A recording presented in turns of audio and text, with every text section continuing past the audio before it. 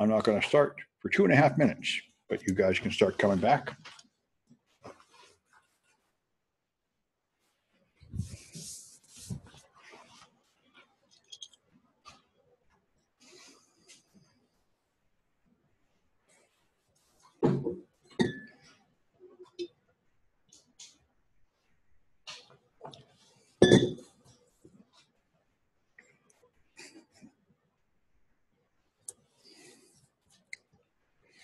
Guess I gotta mute these guys.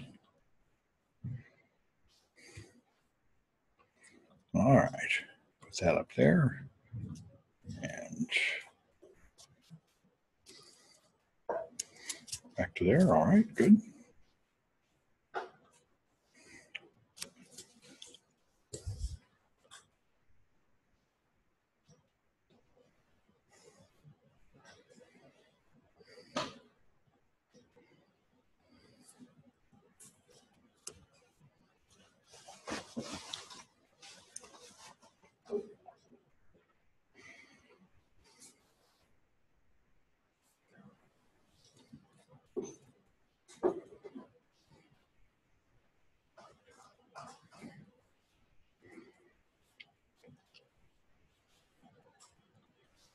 So since I got a minute, uh, the voting machine link is here if you care about. Yeah, this is it right here. DEFCON 25 voting machine village report.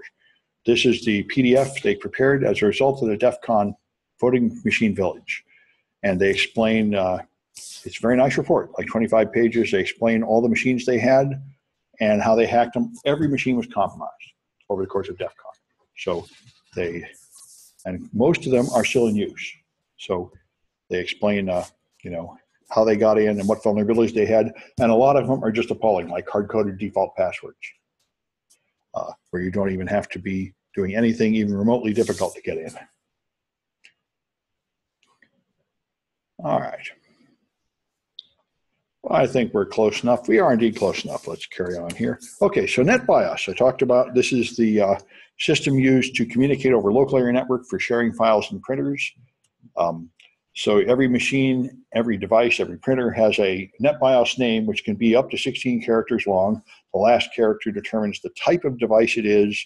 So you have a computer name, you can have a thing called the master browser, which is just used to keep an index of all the local devices and other things, computer names on your network. Uh, for some ungodly reason, Microsoft invented this thing called a null session, where you log in with an empty username and an empty password, and now you get privileges you didn't used to have. I've never had anybody make, explain how this ever made any sense to anybody. But that's the way Microsoft designed their stuff, and it stayed that way until around Windows Vista when they finally knocked it off. Um, it was for machines earlier than Vista, this was a, the main way to enumerate them. All you had to do is log in with an empty username, an empty password, and then you get a list of all the users. It would tell you who the administrator was, if the name had been changed, it would tell you all the shares. It would tell you the password change policies, all kinds of useful information that is none of your business from having a password of blank and a username of blank. It was really strange, and Microsoft persisted in this madness for about 10 years. So there are a bunch of tools out there. We'll do it. NBT Stat We'll show you that who NetView will uh, connect to a server and show you the shared resources. Um, and NetUse is what you use in the command line to connect to a shared folder and then download or upload files. Uh, there are enumeration tools. So those are what you use on Windows. There are Windows command line tools to connect to things. And of course, in the GUI, you can just open Windows Explorer and then go to like Network Neighborhood. These days they call it Network or My Network Places on different versions of Windows and just explore the shared resources of your LAN. Uh, Linux in Kali, you can run SMB4K or enum4linux, which are Linux tools to enumerate Windows shares. And then there's uh, tools here that are have the ability to do it in a graphical way. So this is what enum4linux looks like. You run it with an IP address, and it then connects and tells you the same information you would have got from Windows machine, uh, the name of the share, the IP address, the files that are being shared, and so on. A dumpsec is an enumeration tool that lets you find all the information about things that are shared. Yeah. So when you use dumpsec, is it like a data dump? Uh, it is, but the data is just, it's not a real database. It's just a list of shares and user accounts. Uh, It's enumeration. It's not a data dump in the sense that like a SQL injection would be. Right. And then Hyena is just another graphic thing uh, that will try to enumerate things off a service. And I don't think it's free, so it gives you a graphical environment. And you'll see it on the global groups and domain users, and down here it's got the shared folders and such. It's just scans your network for you and tells you what all things are available. These are various tools to make it more and more convenient to do the enumeration stage of a pen test. And then there's Nessus. Nessus is the most popular vulnerability scanner in the world. I think I use it in this class. I know I use it in the next class. Um, it's got a free and a pay version, and uh, it can do everything. And thought I, I looked at it today to see what they've done, and they've added so, cloud support to it. So now you can scan your cloud machines and your virtual machines on every kind of surface, and they've added compliance reports for HIPAA and everything. So you know that's in constant development. It's a very popular product, and it can do a very thorough scan, taking hours to give you a long list of all the security problems on your server, all the ones it can find. All vuln scanners are pretty ineffective and weak. They miss vulns and they lie and tell you vulns are there. So they're not perfect by any means, like antivirus, but they are an important part of the process. You always do a vuln scan in addition to manual testing because the vuln scan will really test every link and every folder and every file and every account, which your manual testing probably won't. So it's, it's a good tool to, use, but you have to be aware that you can't really trust what it says too much. OpenVAS is the fully free version of Nessus because Nessus uh, several years ago went commercial and the open source community didn't like that, of course, so they made the fork, which is 100% free, which is OpenVAS. But most people just use Nessus because they have pretty nice uh, trial versions and limited free versions available. Um, and that's good enough for most people. So if you want to enumerate Unix, Unix doesn't have a lot of this craziness of Windows. It doesn't have SMB file shares usually, unless you're mixing Unix and Windows servers in the same network. It doesn't have null sessions. That was only Microsoft that did that. So a Unix is a whole different beast to enumerate. Now there are many different versions of Unix. HP Unix, uh, Apple Mac OS's Unix. Um, there's Ubuntu Linux. Uh, there's a difference between Unix and Linux but the only person on earth that cares is uh, the guy at, at, MIT, the mad monk. I've heard Stallman. Richard Stallman cares. None of the rest of us care. The, technically, there is some internal difference, but the commands are the same, the layout is the same. All the rest of us don't really care, and they call it just Starnix. It's Unix or Linux. It's all pretty much the same for all practical purposes. But if you get deeply into operating system design, one of them has GNU in Linux and the other one doesn't, or something. And he wrote GNU. So to him, this is super important. But anyway, um, so uh, one thing you might do to enumerate systems is SNMP. SNMP is a protocol used to control network devices. You can control routers, firewalls, switches.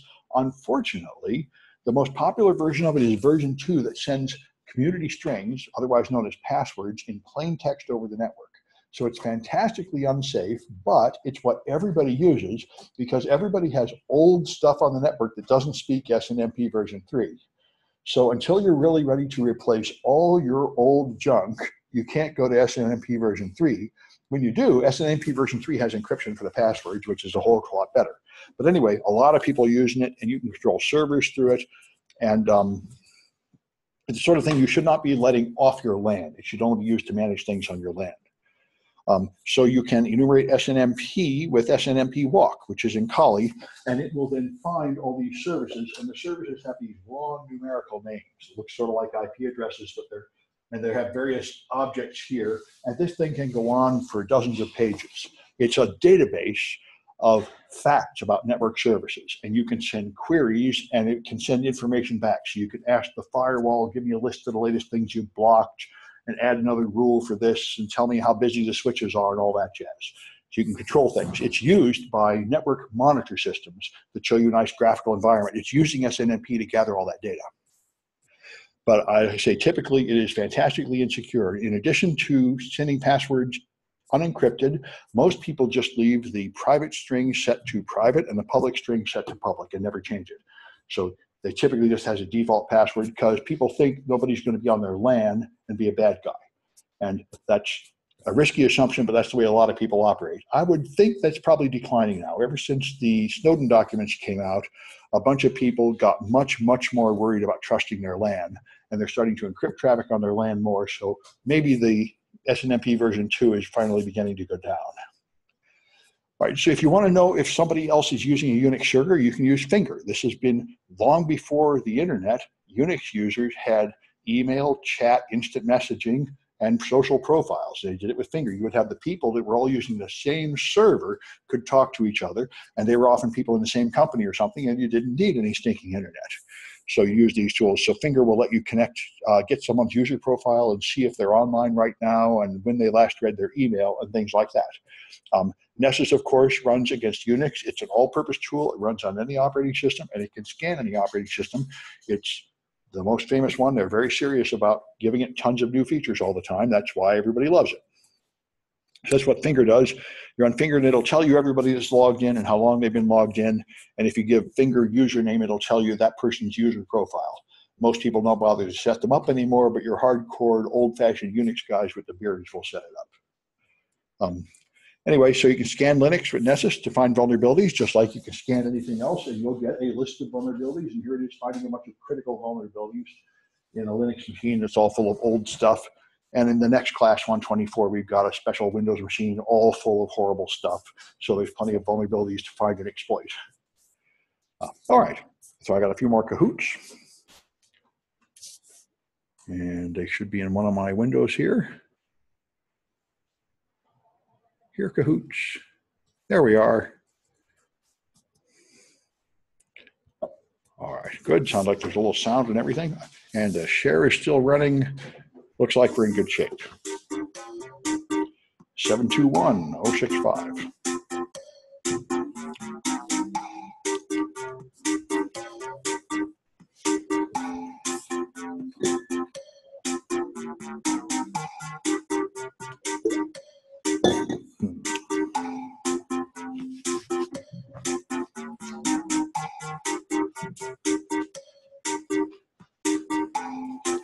These are pretty good names.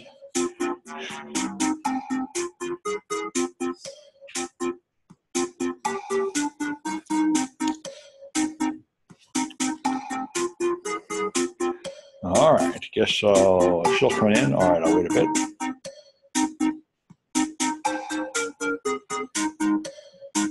All right, I'm going to count 10 seconds. We'll see if anybody more comes.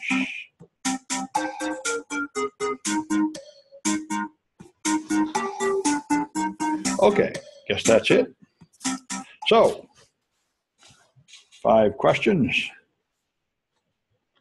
Which is the system that uses a 16 character name for every device?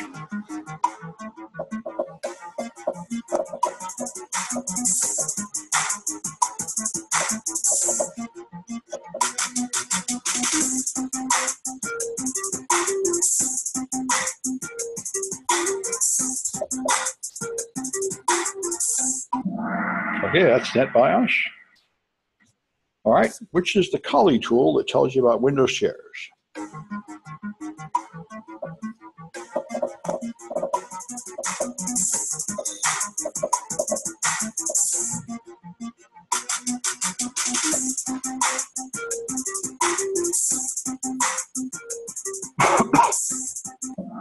okay, enum4linux.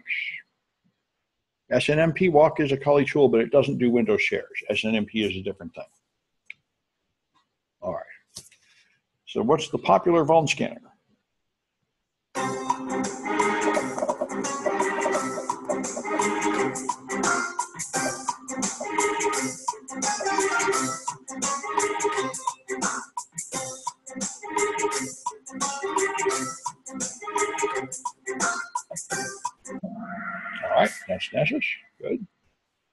All right, which one of these is not Unix or Linux?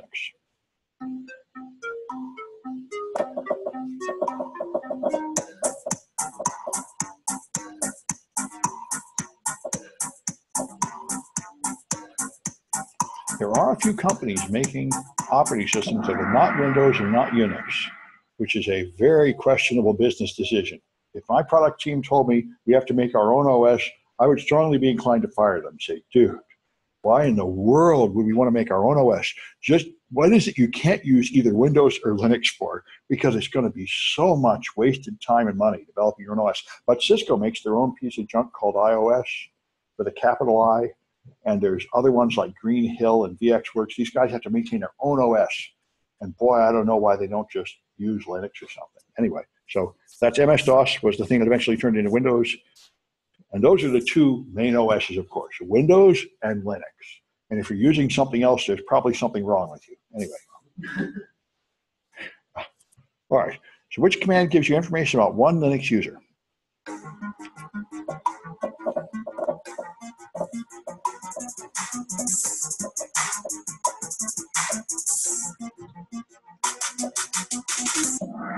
All right, finger finger can tell you about everybody, but if you put a name in, it tells you about just one person. All right, so E gets six points, but I don't know who they are. Chan, there may be more than one Chan, and YJZ, I kind of doubt that's a real name. Anyway, so Blunder and Mustafa, I know who they are, and uh, these other folks will have to tell me who they are, like Chan. Perhaps that's what this chat is. Eric Burns is E. Good. Okay, I got it. All right, thank you. And you, I, oh, that's pretty good. Okay. Yan, G, Zhang, I got you. And there's a, okay, Chan Saley, good.